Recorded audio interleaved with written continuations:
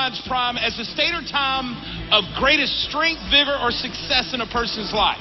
And here you are as a 6th, 7th, 8th, 9th, 10th, 11th, 12th grader. You're in the prime of your life. That's you. This is real love. This is real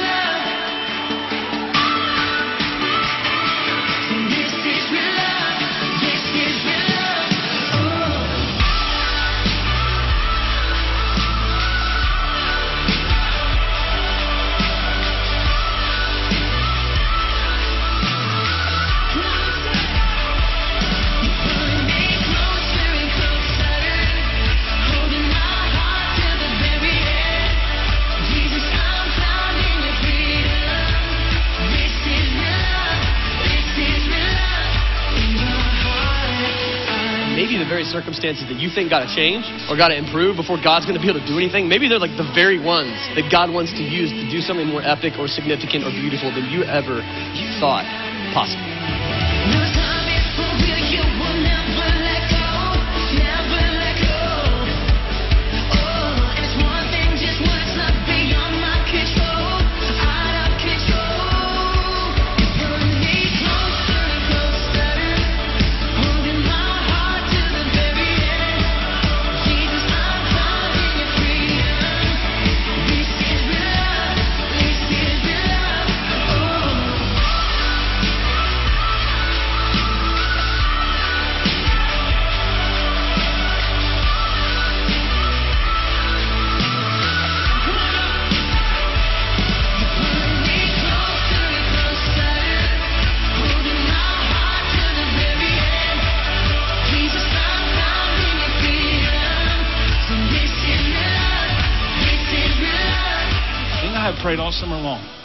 Is that in 10 years, you'll be able to say that I chose life to the fullest. Maybe the prime life is only found when you take your life and place it in the best hands. And the best hands are the hands of the one who created you to have the prime life.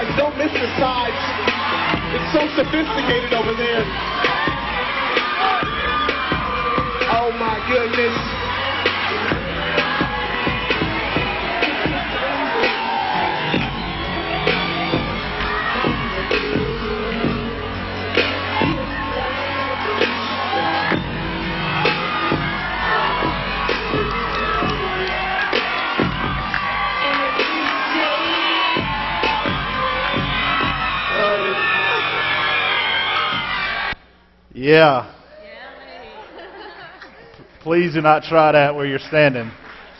Uh, as you can tell, we had an awesome week here at uh, Panama City Beach, Florida at BigStuf. This is the fourth year that we've been a part of that. Uh, that right there was a little bit of a youth minister challenge. Um, so I had to get up there. That lady in front of me was hogging the stage, and she clearly was out of line. So I had to kind of step in front, take over. Um, but uh, it was an awesome week for our teenagers and adults that went. Um, you guys are going to have the opportunity to hear from them in a couple of weeks on Youth Sunday, August 14th. They're going to be able to tell you their stories from this past week and some of the things that happened. Um, I'll just tell you that it's very, very cool to be in a situation where you're on a beach, in a hotel, in a convention center, 1,500 students, middle school and high school, representing 15 states. around the country.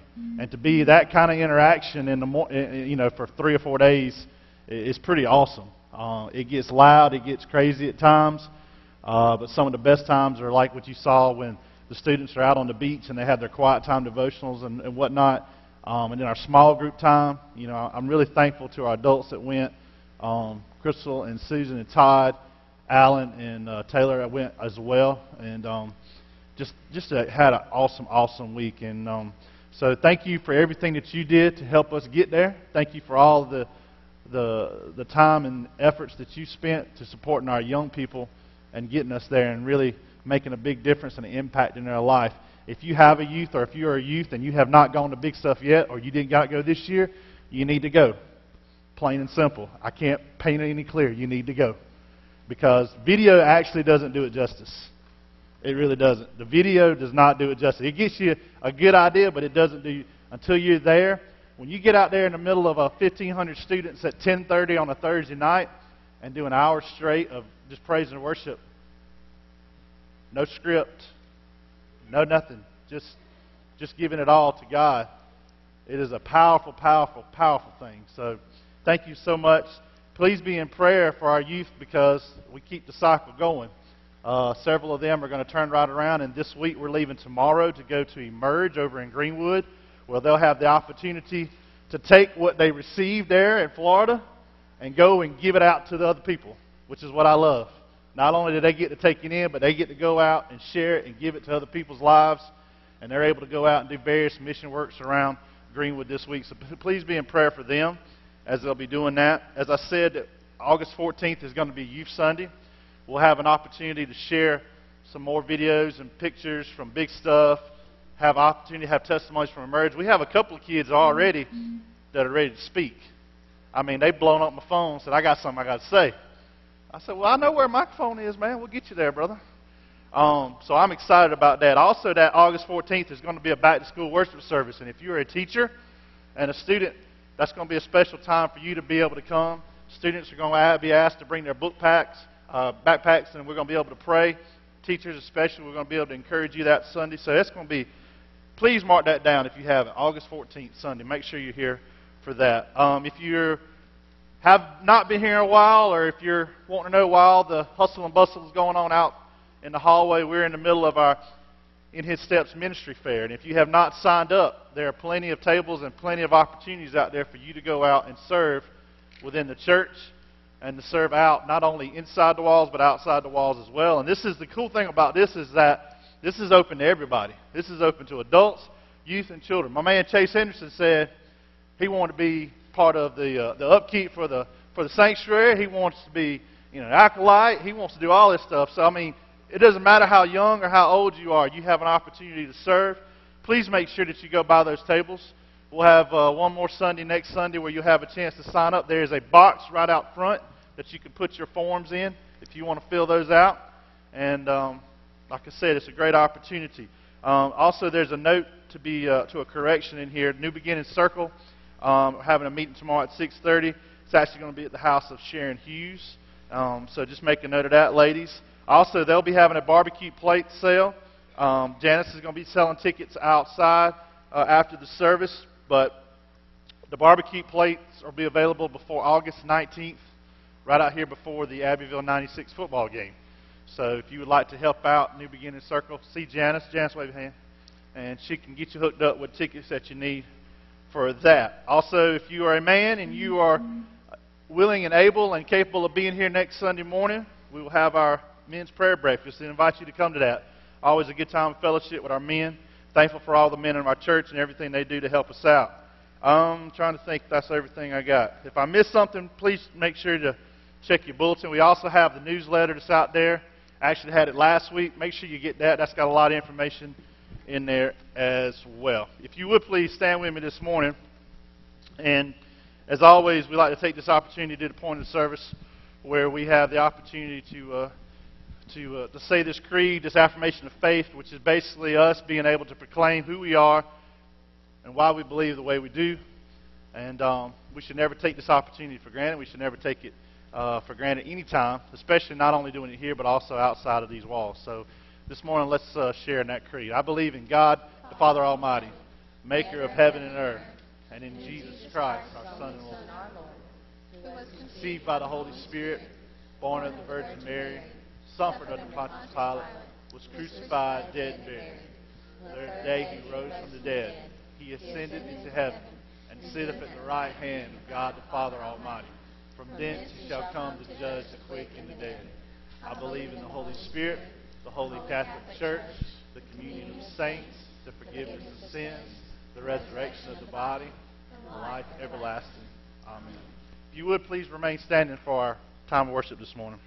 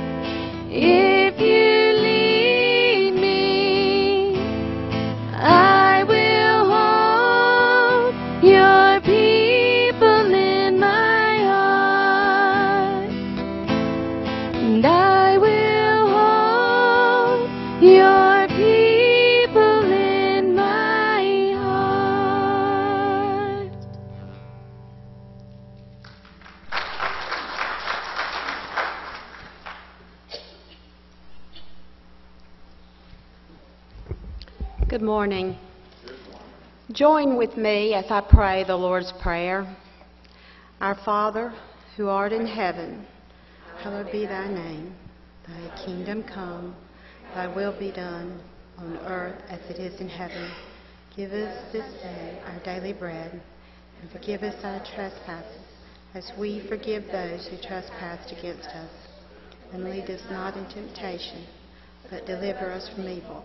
For thine is the kingdom, and the power, and the glory, forever. Amen. If you would at this time take the opportunity to greet each other in the Lord this morning. It is. Not good if Father, I give you my No, God of wonders.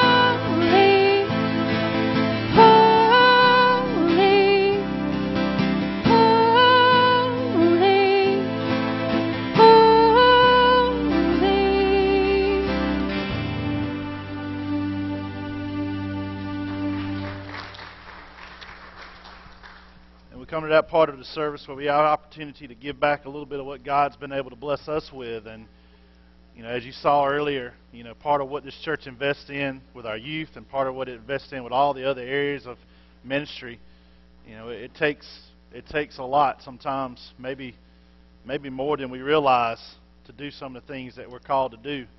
And in order for us to do it to the best of our ability, sometimes it causes for us to respond. And you know, that's the one thing that I am extremely grateful for about this church is like, I don't think there's any been a ti ever been a time since I've been here that when I've asked for something, I've been told no. And I think that that's one thing that makes us stand out for the right reasons and makes us go out and do a lot of great things for this uh, for this community and also things for the kingdom. So uh, this morning, as we get ready to give, just be mindful of that. That your giving, your giving makes a difference. Your giving is sowing seeds to to ages from young to old, and it makes a big difference. So let us pray this morning. Our heavenly Father, Lord, we thank you so much for the opportunity to give back a portion of what you bless us with, God. And sometimes we say that, Lord, we think of a portion as being small, but Lord, maybe a portion is a, a sacrifice, a sacrificial giving, Lord, of, of something maybe beyond the norm, Lord. Lord, you have always been able to take what was been given and, and bless, Lord, and we pray that you would continue to do that. We thank you for all the things that you're doing in this church. We thank you for the, the excitement and the energy that we have, Lord, to go out and do.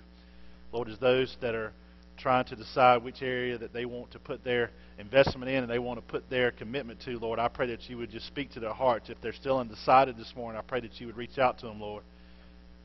And maybe they realize that they have that opportunity to serve. So, Lord, just bless everything that is received this morning, Lord, and continue to be with us as we go through worship. In Jesus' name, amen.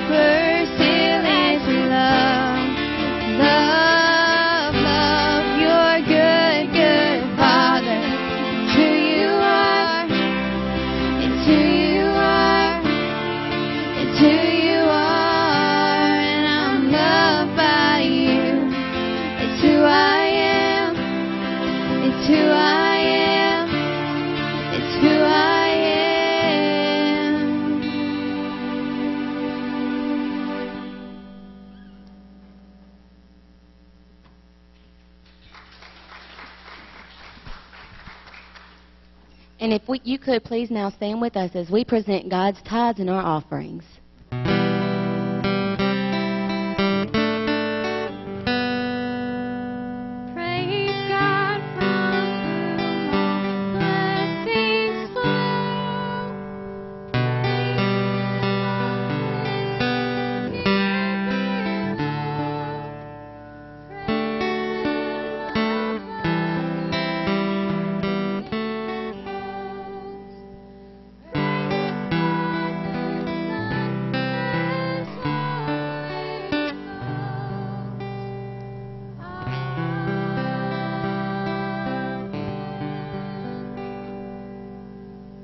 You could be seated, and children can be dismissed for Children's Church.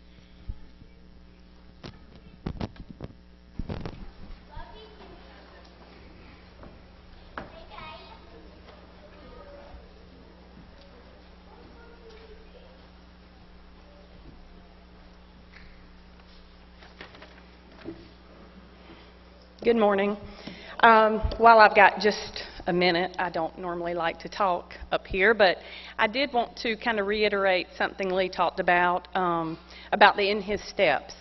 Um, when we were at Big Stuff, we had a chance to go and they had a leader lab, so the adults got to go and be away from the kids and you know kind of feel ourselves and. Um, one of the things he talked about was volunteering and how we, the adults, are supposed to mentor and share with these kids. So you need to sign up somewhere, you know, something you can do in this church. The kids will see you volunteering and it, it rubs off on them.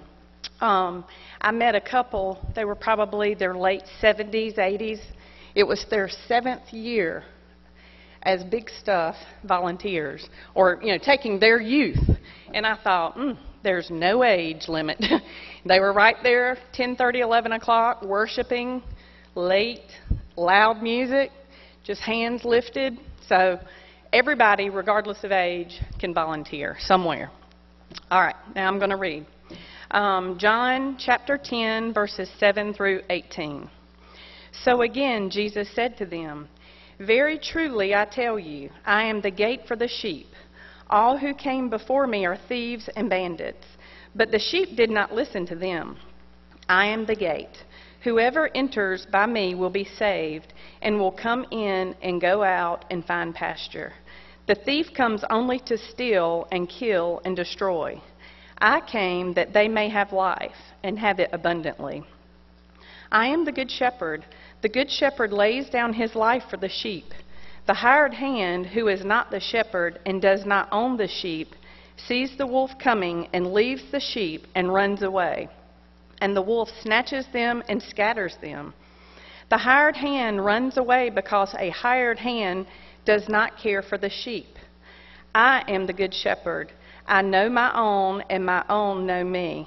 just as the Father knows me, and I know the Father. And I lay down my life for the sheep. I have other sheep that do not belong to this fold. I must bring them in also, and they will listen to my voice. So there will be one flock, one shepherd. For this reason, the Father loves me, because I lay down my life in order to take it up again. No one takes it from me, but I lay it down of my own accord. I have power to lay it down, and I have power to take it up again. I have received this command from my Father. This is the word of God for the people of God. Thanks be to God. We, uh, you know, we're very blessed in this church with our young people. And I know you're probably saying, wait, Youth Sunday's not till August 14th. Why are you talking about young people again? Well, it's kind of what y'all pay me to do, so just have to get used to it. Um, but our young people are frontline warriors for the kingdom of God. Because not only do we have kids that are in this room, in this sanctuary, on the front lines up here leading you guys in worship, but they're out there making an impact. And I got to see it firsthand at this big old camp on a big old beach in Panama City Beach, Florida. If you throw that picture up for me real quick, Todd.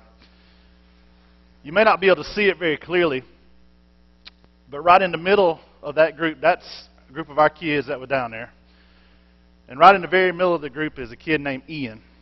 Ian was down to BigStuf. He was part of a group of 90 kids that came down on some of the charter buses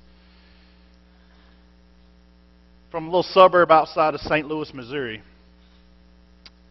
10th grader, I believe. Um, might have been 11th grader. Um, but he, uh, he was actually in the service with us, and he was actually sitting near us on Wednesday night. And Wednesday night was a very special service because it was, um, it was a special invitation service. And he was by himself, really. Um, our kids were kind of spread out over the course of two or three rows, but he was like right there in the middle of us. And um, when they had the invitation time, he was led to give his life to the Lord. And he was there able to stand up in front of all those kids, all those adults, and say that he knows who his God is. And he knows in whom he believes. And he give his life over to the Lord right there on that Wednesday night in Panama City Beach. But that's not where the story ends for him as far as his trip to BigStuf, because our kids went down to the gazebo. They have this big gazebo down there in between the two hotels. And at night, a lot of the kids like to go down there, and our kids like to go down there. And we got some kids that are very talented, can play uh, play gu- guitar and stuff like that. So they went down to this picnic table, sat at the picnic table, and started pulling out worship songs. And they started playing worship, just singing together and playing. And I'm standing there and just listening and whatnot. And I look over to the left, and here comes this kid walking to the gazebo, and it's Ian. And he walks over there, and I kind of greet him. He somehow found us in the midst of all those kids there. And when he stood up in the service, that group of 90 kids that he came with were nowhere to be found. But our kids were right there. And our kids greeted him with handshakes and hugs. And they loved on him in that moment. So somehow or another, he found us. Maybe because he heard Fogel trying to sing. I don't know. But um, he found us, and he tracked us down in that gazebo. And he come over there, and we started talking. And I just tried to introduce myself a little bit, talk to him and everything. And the kids are still singing, you know. They're smiling at him and everything, but they're, you know, they're they're singing. And so I'm talking with him a little bit, and um, he was telling me a little bit about his story. And he was telling me how nervous he was. I said, Why are you nervous, man? I said, I know it's a big growl, but that's a big step, big decision. He said he was nervous about going home. You see, he lives with his dad, and it's just him and his dad, and his dad's an alcoholic. And he said his dad doesn't believe in God. So he was scared. He didn't know how his dad was going to react when he got home and how he was going to react to the news that he got saved. And so I just started talking with him a little bit and kind of talked to him, walked him through some things, and just told him about, asked him about his group. I said, said, Where, where's, where's the rest of your group at? And they were all spread out everywhere and everything. I said, Do you got anybody in your group that you can really connect with? Anybody that you can buddy up with? And he said, Yeah, there's a few. And so we just kept on talking and talking. And every time I'm talking, I'm sitting here and I'm just like, you know, my heart's breaking for him because, you know, he obviously was in need. A greater need, not only in the need of giving his life over the Lord, but he was in need. And I honestly felt like he never did come out and say it, but I almost felt like he, he had this mindset of, does anybody care about me? But it was amazing to me to see our kids reach out and show him the love of Jesus the way they did. And so I pulled him over to the table and I said, Guys, I said, this is our buddy Ian. I said, we need to pray for him. And so we circled up, put our hands on him, we prayed for him right there in that gazebo, 11:30 at night, ocean in the background. And pray for our new brother in Christ. Not for show or tell, not for me to tell you a fancy story, but just for the all, just for the basic reason of the fact of we wanted him to know what it feels like to be in the family of God and what it means to be loved. And through us, how God could love on him. And so the next whole day, I mean, he was with us, brother. He was with us. He found us in the in the in the convention center where we were sitting. He found us at breakfast. He found us at lunch. He found us at dinner, and he found us before we got on the bus and rolled out Friday morning. Because of love. Because our kids took that time out to love on him. And to say, hey, we're not really sure about who you came down with, but we do know who you're going home with, and you're going home with Jesus. And that was the most powerful thing that I could see hands on, just to give you a small glimpse and a testimony of how much I love the kids in this church. We have kids that sing up here. We have kids that are actually going tonight to another church, part of the youth center praise band. They're going to sing tonight. They're going to be leading Youth Week in a couple of weeks, two times during that week. We got kids that are on the front lines, church, and they're being the hands and feet, and they're ministering to other kids, whether we realize it or not. And that's something to be shoutful for. That's something to be thankful for. That's something to be excited about. Because I can tell you, I know our kids pretty good, and a lot of them can get really tired and cranky in a heartbeat. And they don't necessarily like to be around each other all the time. But in that moment, in that time frame, there we were to meet meet with that kid as he as he had that awesome moment in his life. And so he posted that picture. That's all right. You, he posted that picture. Well, I put it back up. Push it back up. He posted that picture, and I want you to read what he says here. You may not be able to read it. I'll read it to you. He says, "Hanging out with these awesome people all week and making a new memory for them and myself. They're a great group of people and will always have a place inside my heart." BigStuf. The prime life, friendship, new friends. I don't know if we'll ever see him again. We may see him next year. I don't know. But we, if only we reach out to one person, that, that's awesome, y'all. That's awesome. So, what does that mean for this morning and what I wanted to share with you guys? Well, absolutely everything. Because maybe this morning, maybe there's somebody here who wonders themselves, does anybody care about me? Does anybody know what I'm going through? Does anybody understand the struggles I'm dealing with? Do they understand the struggles I'm having with my belief in God right now in my life? My heart was breaking for him as I was driving home because I knew that when he got home, he wasn't going to have a welcome home party like everybody else might would have. I, I finally was able to reach his youth pastor, found his youth pastor, and talked with him. But um, you know, even this morning talking about him and seeing a picture, my heart's praying for him because I don't know what kind of life he's got right now. Here it is Sunday. But like I said, he's got Jesus now. And I pray that the people around him in that youth group and those kids can, can reach out to him. He plays the drums, uh, plays in the high school band. So um, if you're if you're having some quiet time today, say a prayer for Ian if you don't mind. Um, this morning I wanted to look at a piece of scripture. Title of sermon is Does Anyone Care About Me? But basically the way I wanted to tie it in this morning is I wanted to tie it in from the book of Psalm. And it's actually one of my favorite chapters is Psalm 139. And we're going to look at a couple of verses here, but before we get to the scripture that I posted, I want I want to give you the, the first part of this scripture, just to kind of set this up. Because as it's being written here, I want you to think about this, and I want you to hear this this morning. Because I don't know how many of you read this recently, or if you read it before, but I want you to really hear about it. Because sharing what I just shared with you, and hearing the Psalms this morning, talking about a good, good Father and God of wonders, Maker of all heaven and earth, I want you to listen to this this morning.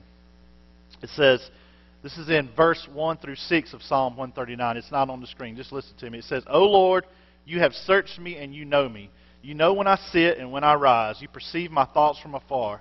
You discern my going out and my lying down. You are familiar with all my ways. Before a word is on my tongue, you know it completely, O Lord.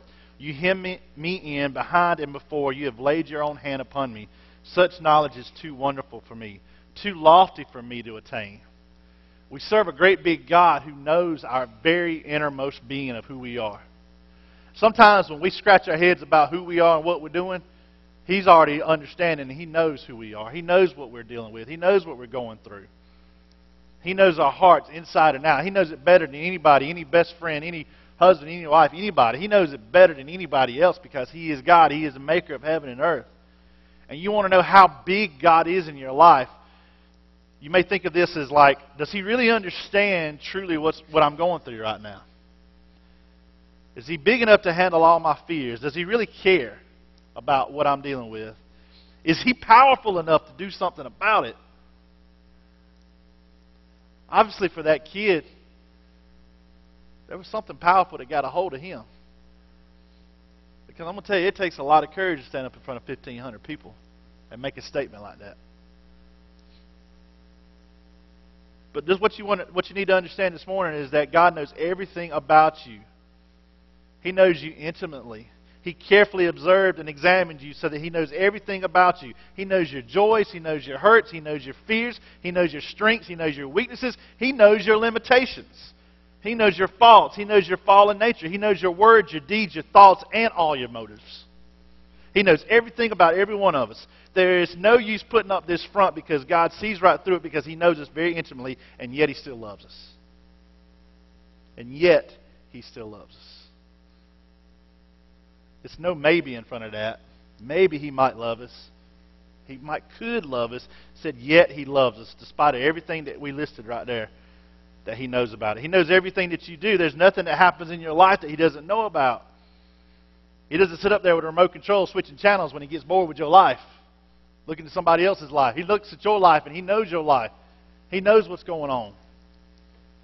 He knows everything that you think. He knows the very number of hairs that are on your head. Now, I know for some of us here, it's a less number than most, but me and Big Brother, we right there, ain't we, brother? But he still knows the hairs that are on our head. He knows everything about us. He knows your future. He knows your future. He knows your past too. But your past, as we heard this past week, your past is just the future with the lights on. And here's something else. Because we sometimes forget how much He truly does know, we, we tend to put all of our stock and all of our value in what other people think they know about us. And we, we tend to put all our focus in on what other people's opinions are about us. And sometimes we let other people define who we are. Let me share with you this very powerful statement that we got this past week, and it's, it's powerful and it relates to this morning. God had a purpose long enough before anyone else had an opinion. Let me read that one more time. God had a purpose long enough before anyone else had an opinion. God knew you. He knew you who you were. So why are we living for other people's opinions? Why are we basing our everyday life about other people's opinions? Why do we wake up wondering what such and such thought or some, somebody said? Why do we go to sleep thinking about it? Let me just put this out there. Why do we go from why do we go from church to church to church worrying about what somebody says? There's only one opinion that matters, church. And it's the opinion of the God, the Father, who loved you and knows you and knows everything about you. That's the only opinion that matters, y'all. He knows your future. He puts his hand around us. He protects us. We don't have to be afraid. We don't have to look. We don't have to run from Him. Our very body is a masterpiece of design that He specifically created. This is going to blow you away, but I'm just going to read this to you because I was reading this the other day and it's fascinating. Body is made up of this 60 trillion cells, 100 billion nerve cells, 100,000 miles of nerve fiber. Your brain has 7 million nerve cells to record what you see and hear. The best computers in the world can equal your brain. Your skin has more than 2 million tiny sweat glands to keep your body at an even temperature. Your body contains 100,000 miles of blood vessels. Your heart pumps over 250,000 gallons of blood over a 70 year period. No fuel pump can come close to that. The lining of your stomach, it contains 35 million glands secreting juices which aid the process of digestion. And these are just a few of all the processes that go on within our body. In 24 hours, your body accomplishes a lot. Your heart beats over 104,000 times. You breathe over 23,000 times. You inhale 438 cubic feet of air. Now, I know some of you are not science majors, but you stay with me. You just digest almost three and a half pounds of food and 2.9 quarts of liquid. You speak over 16,000 words. You have 208 bones, 300 plus for babies. You move 750 muscles. Now, not, you were probably like me and didn't realize all that. But guess who did know it? God. Have we ever stopped and just given Him thanks just for making us? Just for allowing us to be here? And just said, Thank you, God. Thank you for who you are. And then we get to the scripture it's talking about here in 139. It talked about how God searched this. And we're going to pick up in verse 13. We can follow along if you don't have a Bible with you. And this goes just to kind of cement what we're just talking about here. It says in verse 13, it says, For you created my inmo- inmost being. You knit me together in my mother's womb. I praise you because I am fearfully and wonderfully made. Your works are wonderful. I know that full well. My frame was not hidden from you.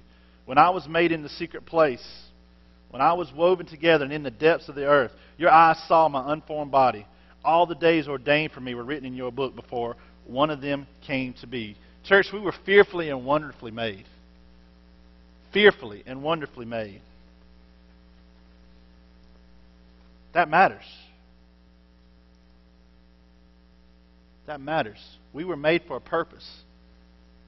We were not made for somebody's opinion. We were made for a bigger purpose, a purpose outside of us, outside of our, ourselves. A purpose to go out through these doors and go out within these walls and also go out outside of the walls. To be something bigger and greater for someone who is bigger and greater. And all he needs is just one person. He can do a lot through one, but with many, he can do a bunch. A city on a hill cannot be hidden. How bright are our lights this morning? Have our lights dimmed a little bit? Are we struggling with the very essence of who we are? And this goes all across the board. This goes for teenagers all the way up, no matter how old you are this morning. We sung that song about the good, good Father. We sung that song a lot this week. And I love it. I love what it says. I love the message of it. It's just who you are. His very nature is love, y'all. God's very nature is love. He loved us so much that even in our messed up craziness and ways of life, He sent His one and only Son to die on the cross for us because He loved.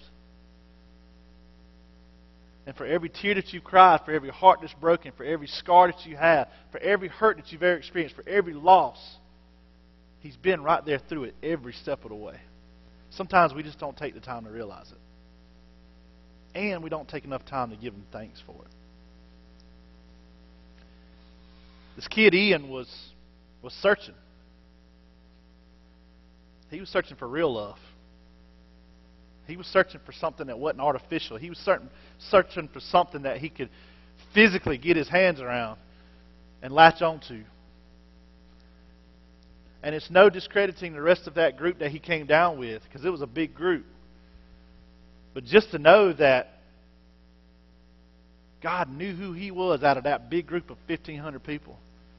And God knew how to direct his steps to where he needed to be that night. And God knew that he needed to impress upon our hearts to lift him up and pray for him and love on him. And God knew that he was going to be sitting there with us every rest of the moment on that Thursday. He already knew. But yet, sometimes we still act surprised. We get surprised when, when He does do things in our life. We get surprised at, at the fact of wondering, man, there is people that really do care. So that brings us to the takeaway this morning. And the takeaway is, is, basically, is basically this for us. First and foremost, we got to understand that we got to accept His love for us, no matter who we are, no matter what we're going through, no matter where we've been, no matter where we are. He loves us. So we need to go out and be the one for the one because He loves us. That's why it matters. That's why church matters. That's why being in church matters. That's why being the church outside the walls matter. That's what it's about, y'all. And listen, you don't have to have no big parade type experience to have a celebration. We celebrated under that gazebo, and there was only about 15 of us. And I don't know how many are in here this morning, over 150, 160 people. But I'm going to tell you, 160 pe- people with that love assured in their life can go out and make a big difference in this world. And you have those opportunities out there on the walls. You have those opportunities to be in ministries in this church to make a difference. The very moment, the very moment that you think you can't make a difference or you're not making a difference, you're, op- you're opening up the door for the enemy to take away in there. You're giving him that chance to take away that joy from you. I'm telling you, don't let him do that. You said, Lee, man, I've done my bit for king and country. I got to breathe. I got to back up. I got to take the, the foot off the pedal a little bit. But what if there was one more person that you needed to reach out to? What if that one person is somebody that's sitting right next to you, or sitting behind you, or sitting across from you? Or maybe who's not here that needs to be here? It's something to think about this morning. But it's also something to celebrate the fact that the God of heaven and earth knows us. He knows us. He knows our hearts. And if you're struggling with anything this morning, if you've been struggling this week, if you've had anything that's going on, if you're wrestling with a decision to make out there about serving, I'm, I'm, I'm telling you this morning, this is a great opportunity just to surrender to Him. To give over your heart. To give over your life. Sometimes we have to die to ourselves before we can live life. And live life to the fullest. We heard the scripture that was read this morning by Miss Diane. He came to give us life, but not just life, give us life more abundantly, to the fullest. That's what we talked about this week at camp. He wants to give us the ultimate life. But the enemy is always going to be around, like a thief in the night. He's looking to steal, kill, and destroy. He's looking to take your joy. He's, he's looking to keep you buried down. He doesn't want your voice to be heard. The one thing I challenged our students with this week was when you come back home, don't get lost in the shadows. Don't get misplaced. Don't go back into being in silent mode. Continue to be loud. Continue to be proud. Continue to be what you need to be. But be the one for the one because He loves you. That's what we need to take away this morning. So, in a moment when we sing and we have this opportunity, invitation, and maybe you're struggling, or maybe you have something that you're trying to figure out, maybe something with the ministry to serve in, or maybe it's something that's going on outside here, whatever the case may be, this altar is going to be open for you. There's opportunity for you to pray, opportunity for you to give that over to God. And maybe, just maybe, I don't know, maybe, just maybe, it's an opportunity this morning for us just to give Him our total heart. You said, Lee, I've done that before. I've been there, done that, sang the song, rode the truck, everything. Well, I'm to tell you something. I don't think it's. I don't think it ever can be old enough to to just give yourself over to God again and be reminded about the blessings in your life. I'm reminded about it every day. There was never going to be a doubt in my mind when I got home from this trip this past week that my kids were not going to love on me when I got home. And, buddy, they attacked me like Tasmanian devils. Knocked me down, jumped on me, and I loved it. Don't you ever worry about if somebody doesn't care about you. First of all, there are people in this room that can care about you and do care about you. So let me just put that out there. There are people in this room that love you. This family, this church loves each other. We go through our hard times, we go through our difficult times, but at the end of the day, we find a way to love each other. Sometimes we have to love each other despite our differences, but we still find a way to love. And sometimes I think we need to get back to the celebration of the times that we love more so than the wondering and the curiosity of why we fail. Because to love can do so many things in someone's life. And I'm thankful that I have just a small, small amount of time during the course of a year to be able to show love, not only to kids here, but kids out around. Be able to show kids down in Panama City. I talked to some other kids that wasn't even in our group. I'll be sharing this coming week every morning at Rice Baptist Church in front of 250 students before we go out and do the hands and feet of Christ. There's always going to be one person that you need to reach out to.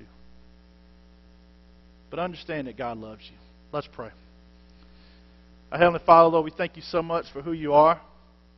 We thank you for the opportunity we have to, uh, to hear from your word this morning, God. Lord, I pray that we would be reminded and encouraged about how much you care for us, love. And you, and you love us so much that you, that you give your only Son to die for us, but you also love us so much that your grace and forgiveness can make us new every day. So, Lord, if there's someone here in this building this morning, if there's someone who's going through some difficulties and some pains and some struggles, God, I just pray that you would be able to meet them where they're at and that you would be able to just show them that love. And maybe through somebody else, Lord, maybe there's somebody here that needs to see your love, needs to see your love through someone else. May we never forget to be a light for you, God. And we just thank you for everything you're doing and what you're going to continue to do in Jesus' name. Amen.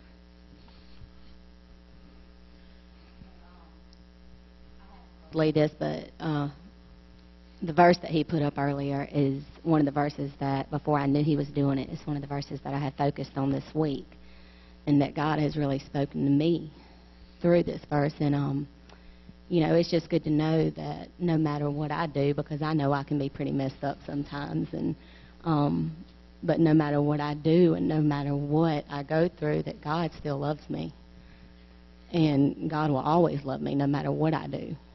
And so this morning, even though He knows what you're going through, He knows your faults, He knows what you have done, He still wants you to lay those down, to lay those down at His feet, to lay those down at His altar. So this morning, we offer you the chance to come up to this altar and lay that down and to give Him your heart fully. So let's stand together.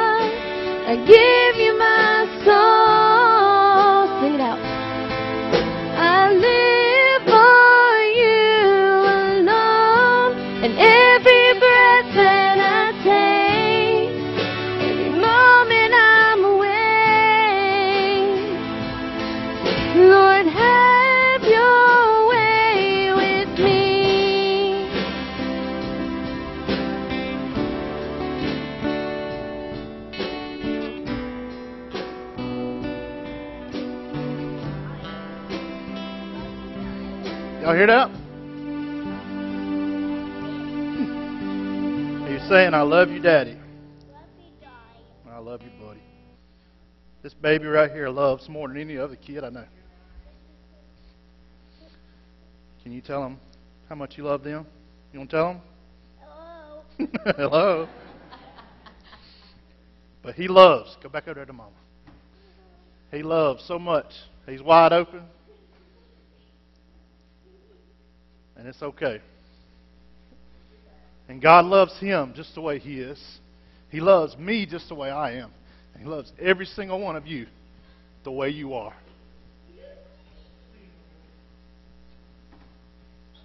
And if you don't understand that this morning, all you have to do is look at him to understand it. Come here. Come here.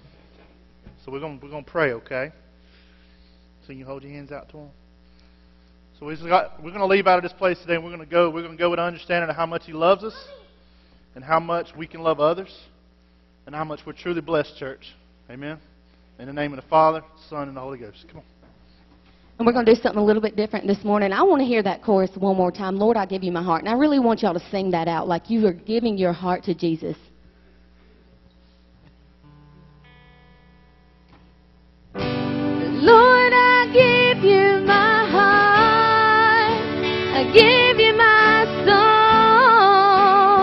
Sing it out.